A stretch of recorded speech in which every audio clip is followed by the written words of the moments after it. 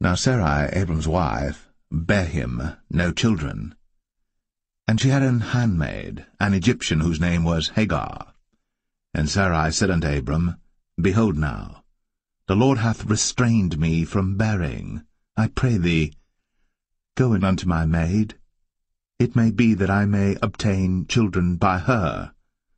And Abram hearkened to the voice of Sarai.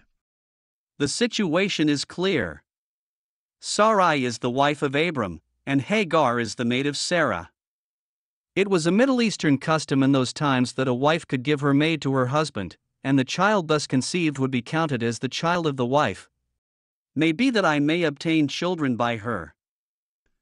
And Sarai, Abram's wife, took Hagar her maid, the Egyptian, after Abram had dwelt ten years in the land of Canaan, and gave her to her husband Abram to be his wife. And he went in unto Hagar, and she conceived. And when she saw that she had conceived, her mistress was despised in her eyes. And Sarai said unto Abram, My wrong be upon thee.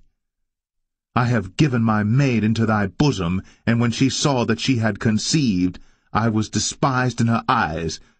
The Lord judge between me and thee. But Abram said unto Sarai, Behold, thy maid is in thy hand. Do to her as it pleaseth thee. And when Sarai dealt hardly with her, she fled from her face. Even after the agreement between Sarai and Abram in verse 2, Hagar is still considered her maid in verse 3. The language is important. It is not Abram who takes Hagar into his tent, but Sarai gives Hagar to Abram. Sarai is in charge. After Abram slept with Hagar and conceived, not only Sarai, in verse 5, but also Abram still talks about Hagar as Sarai's maid in verse 6, not as his new wife. Furthermore, the narrator continues to call Sarai her mistress in verse 4. The phrase, to be his wife, in verse 3 is merely a euphemism for sexual intercourse. That is clear from the phrase that immediately follows it, as well as from the original request in verse 2. The context makes it clear that Hagar remained the maid, not of Abraham, but of Sarai.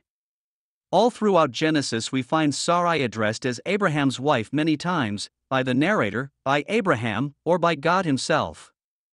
Hagar is never called the wife of Abraham, whether by Abraham, or by Sarai, or by God, and only once by the narrator, as already explained in 16 verse 3.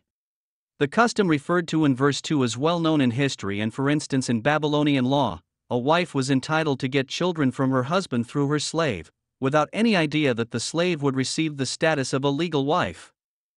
In the Bible, the same custom is employed again by Abraham's grandson Jacob with Leah and Rachel, his wives, and their maidservants Bilhah and Zilpah.